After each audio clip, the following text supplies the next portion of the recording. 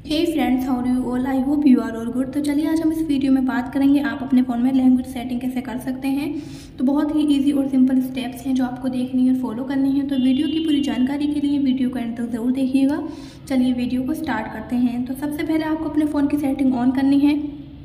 यहाँ पर आपको इस तरीके का इंटरफेस देखने को मिल जाता है। यहाँ पर आपको बहुत सारे ऑप्शंस देखने को मिलते हैं, जिसमें से आपको एक ऑप्शन देखने को मिल जाता है जनरल मैनेजमेंट का। आपको जनरल मैनेजमेंट पर क्लिक कर देना है।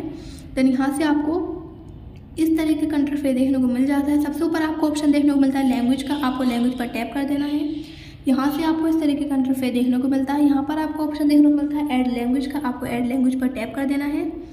जैसे आप ऐड लैंग्वेज पर टैप करते हैं, यहाँ से आपको बहुत सारी लैंग्वेजेस देखने को मिल जाती हैं। यहाँ से आप कोई भी एक सिलेक्ट कर सकते हैं, आपको बैक जाना है।